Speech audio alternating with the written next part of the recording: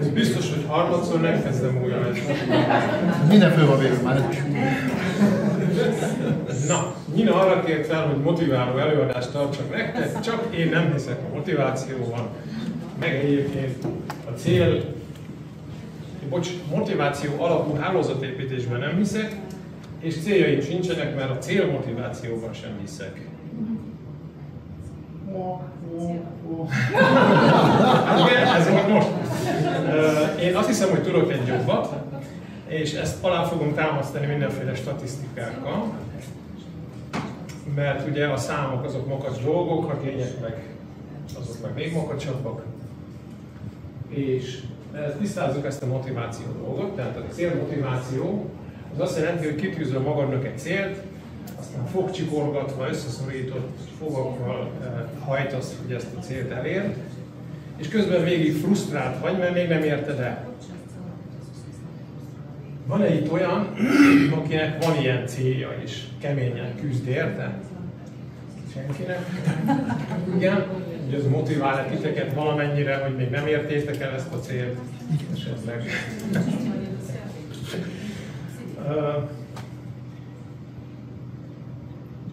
A célmotiváció fontos lépése az, hogy eléred azt a célt, és akkor a föl fölött levegsz 20 centivel, euforikusan boldog vagy.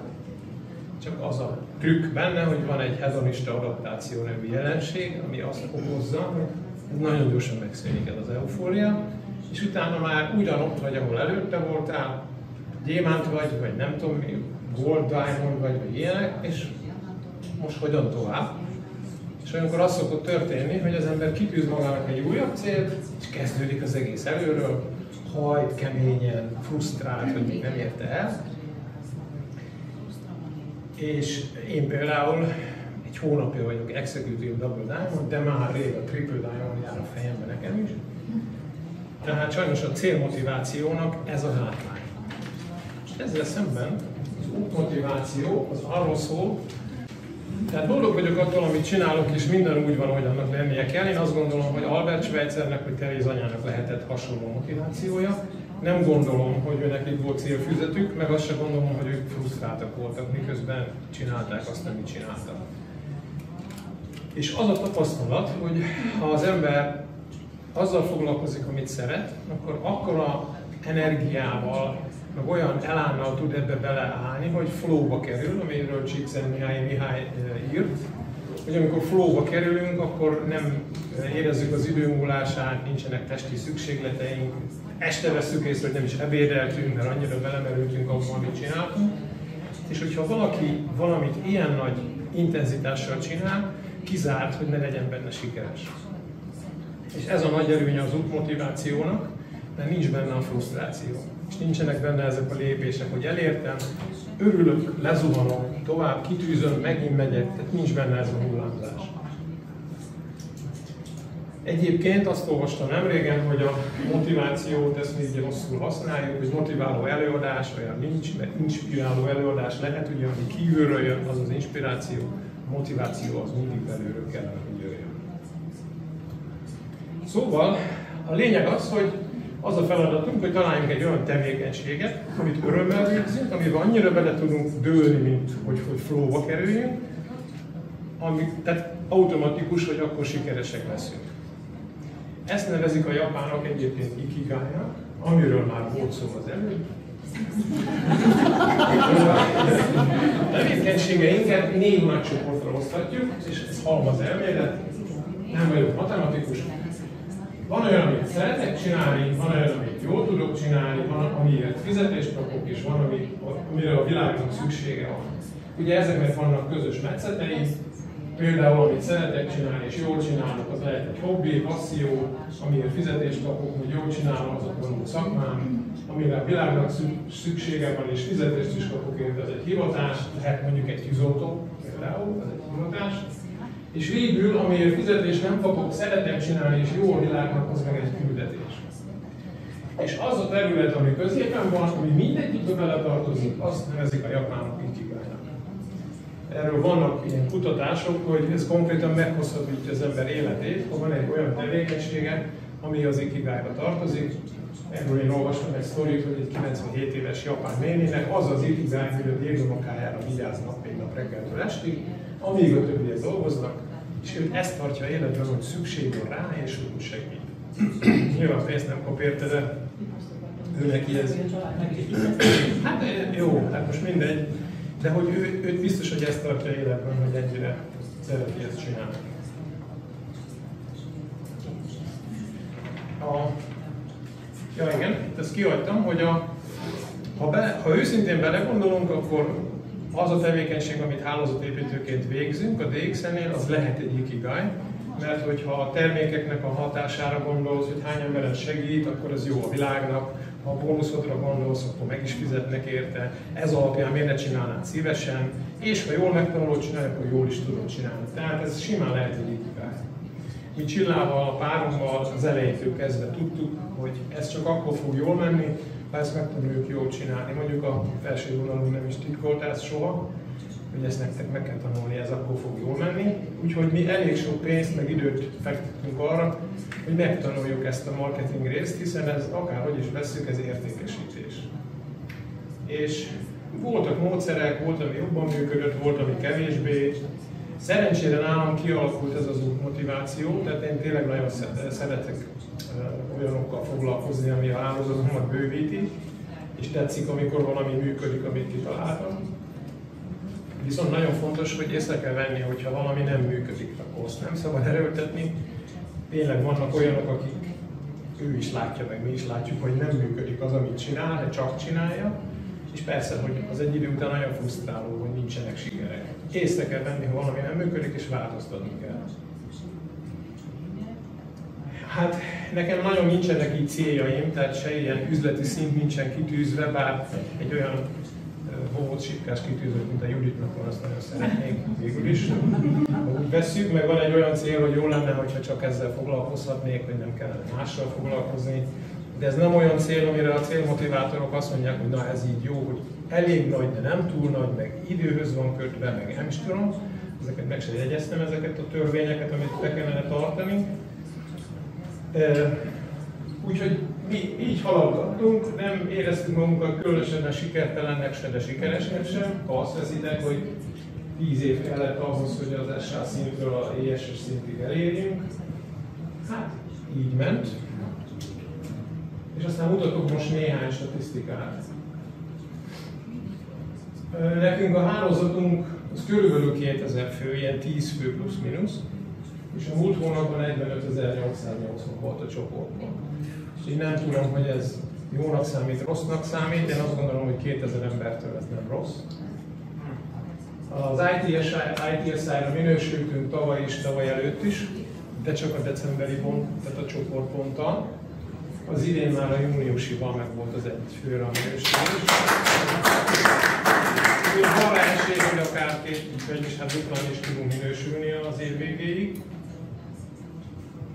Ebben a hónapban minden, tehát is ebben az évben, majdnem minden hónapban sikerült megdönteni az előző csúcsot. Egyedül márciusban nem, mert akkor áremelés volt. Tehát a januári volt a, az 19.100 pont volt a januári forgalom, ugye megduplázódott júliusra, és minden hónapban az előző hónapot meg tudtuk dönteni a rekordot.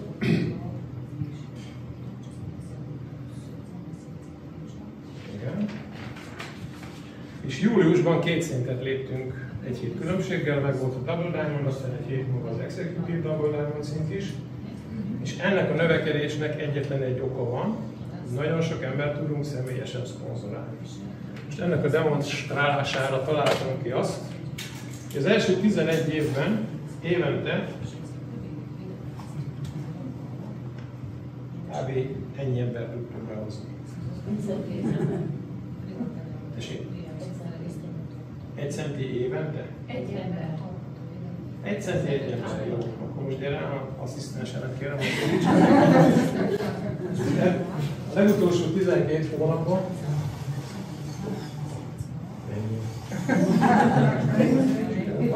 Nem lesz elég a Még mennyi Így jó, akkor meg ennyi.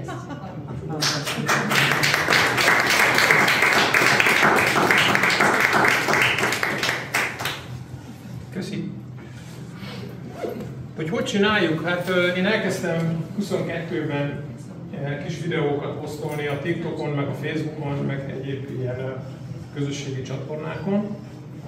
Úgyhogy a TikTokon már a követőimnek a száma eléri a 33 ezeret, Facebookon még csak 10 ezeren vannak. És biztosan hallottátok azt, hogy az embereknek nincsen pénzük, és hogy nem lehet hálózatot építeni, mert drága a kávé, meg ilyesmi. Hát ezek az emberek, akik csatlakoztak hozzánk, a videgpiacra jöttek, nem ismertük őket korábban, és senkinek nem szorítottam pisztolyt a fejéhez, hogy csatlakozzon és vásároljon. Tehát nem igaz, hogy nincsen olyan, akinek erre szüksége van, csak meg kell őket találni. Az, hogy 2022. szeptemberében 64-ben lépünk volt, az lehet egy véletlen, lehet rámondani, hogy ez véletlen. De az már a tudás, hogy ezt a teljesítményt, ezt állandósítani tudtuk, és mert így gyakorlatilag tervezhetővé válik az, hogyha rájössz, hogy valami működik, és hogy mitől működik, akkor meg tudod újra ismételni. Az én módszeremnek az a lényege, hogy sikerrel tudok bizalmat építeni a közösségi felületeken.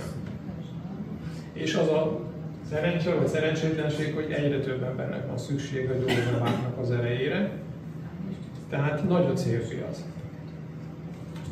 És hogy ez miből nőtt ki, a, akik a dolgokról járnak, azok tudják, hogy mi volt az a DXN 1 percesek című gyakorlat, amit játszottunk, azok, akik nem tudják, elmondom, hogy egyetlen egy szabály volt, egy perced van, és egy percben kell valami érdekeset, izgalmasat mondani, vagy egy termékről, vagy az üzletről, amiről akarsz, de egy perced van, és legyél izgalmas. És ez az egész dolog, amit én csinálok a TikTokon, meg Facebookon, ez ebből nőtt ki. Ezt nagyon kevesen fogadták jól ezt a dolgot. Szerintem a többség úgy gondolt, hogy ez hülyeség, miért kéne egy percre korlátozni ezt az egészet. Én nekem nagyon sokan, sokszor az a visszajelzés, hogy azért szeretik a videóimat, mert rövidek és érdekesek. Nem szabad bocsogni, mert nincs nekik rá idejük, meg se nézi. Ha látja, hogy hosszú, meg se nézi. És ugye MLM vezetőként én azt gondolom, hogy egyetlen egy eszköz van a kezedben, a személyes példamutatás. Nem tud senkit kirúgásra fenyegetni, vagy nem tudom mit csinálni. Azt tudod csinálni, hogy mész elől, és mutatod, hogy te jó úton jársz. De ahhoz legelőször is kell egy módszered, Na, ha nincs, akkor a mocsárba vezeted az embereket, akik olyan szerencsétlenek, hogy követnek. Tehát legelőször is találj egy jó módszert, ami működik. És aztán mutasd, hogy te neked ez megy. Mi szorosan együttműködünk azokkal a saját csapatunkkal, a kemény maggal, akik megértették ezt, hogy ez hogy működik és miért működik. Mi minden vasárnap tartunk egy ilyen Zoom találkozót, megbeszéljük, szétosztjuk végül is a feladatot, mindenki azt csinálja, amiben a legjobb, és akkor a, az eredményeket meg szétosztjuk. Tehát egyre többen tanulják meg a mieink közül azt, hogy ezt hogy lehet jól csinálni, és azért tudunk mi szinteket lépni, mert rájönnek, hogy ez így jó és működik. És nézzük meg, hogy mi az ára sikernek. Hát itt be vannak festve, mondjuk ez a legdurvább hozzászólás, de én nekem van még egy, nem ezzel akartam kezdeni, nekem van még egy alkalmazotti állásom, ahol 11, 12, 13 órát dolgozok, mondjuk reggel 5-kor felkelek, 5-6-7-kor hazaérkezek, egy átlag napon van mondjuk 8-10 üzenet, e-mail, amit meg kell válaszolnom, de volt már 45 is. Egy nap. És olyankor 11-nél előbb én nem kerülök ágyra, és másnap 5-kor megint kelek. Nagy részét nem lehet másodás beillesztés módszerrel megválaszolni, mert minden kérdés egy picit személyes, és hogy ha a, a partner azt veszi észre rajtad, hogy te csak ilyen letudásra válaszolsz, akkor az a bizalom, amit felépítettél a, a TikTokon vagy a Facebookon, az úgy omlik össze, hogy annak nyoma nem marad. Tehát egyszerűen rá kell dobni azt a melót, amit nem tudsz megspórolni. A másik az, hogy ugye senkitől nem kérnek intelligencia tesztet, amikor regisztrál a TikTokra, az elmebetegekben a közlési vágy ugyanolyan erős, mint a normálisakban. Úgyhogy én minden héten legalább egyszer megkapom, hogy sarlatán vagyok, meg túlzsdó, meg föl kéne engem jelenteni, sőt már olyan is volt, aki azt írta, hogy meneküljek az országból. Nem tudom melyikből, mert Magyarországon nem vagyok. Ugye ezeknek az üzeneteknek a 70-80%-ára nem jön válasz, vagy az jön, hogy köszönöm a támogatást, vagy a tájékoztatást. Tehát egy része ennek teljesen fölösleges. Kérdezhetitek, hogy ugye mi a titok. Azt mondják a marketingesek, hogy meg kell találni a jó célcsoportot, a buyer personát, és meg kell találni hozzá a jó módszert, amivel megszólítod őket. Az egyik a másik nélkül nem működik. Hiába van a jó célcsoportot, de nem tudod őket jól megszólítani, vagy fordítva, akkor se jó. És hát ez, hogy bizalom nélkül nincs üzlet, tehát hogyha nem bíznak benned, akkor nem fognak hozzá csatlakozni. Egyszerűen bizalmat kell építeni. Úgyhogy én azt mondom, hogy nem csak motiváló könyveket kell olvasni, hanem érdemes lenne marketing eh, tudást magunkba gyűjteni, mert mi a, azokkal versenyzünk, azokkal a termékekkel, akiket profi marketingesek értékesítenek hatalmas büdzséből. Nekünk ekkora pénz nem áll a rendelkezésünkre, mi akkor tudunk részt találni a pajzson, hogyha nagyon jók vagyunk a marketing üzenetünkkel. Tehát ezt kell fejleszteni. Vagy nagyon sok pénzt kell örökölni valakitől, és akkor nagy pénzzel el tudod intézni, hogy mindenhol a te üzenetet folyjon. És még egy utolsó, hogy higgyétek el, én nem vagyok egy uh, superman, hogyha én meg tudtam tanulni, akkor ti is meg tudjátok tanulni, és ez a módszer nem attól működik, hogy mekkora a szintet, ezt egy SA vagy még az sem ugyanúgy meg tudja csinálni, mint egy nagyon magas gyémánt, mert nem azt kell hozzá, nem azért csatlakoztak, mert mi nem tudom milyen gyémántok vagyunk, hanem azért, mert megbíztak abban, amit mondtam. Úgyhogy köszönöm a figyelmet.